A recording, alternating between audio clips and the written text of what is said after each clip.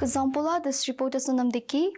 The Embassy of Bangladesh in Thimphu celebrated the 52nd Independence and National Day of Bangladesh today.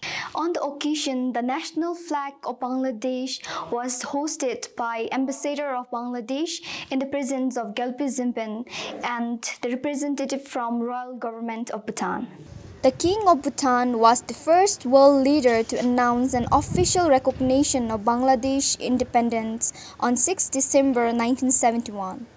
The leadership of both countries have since exchanged many state visits.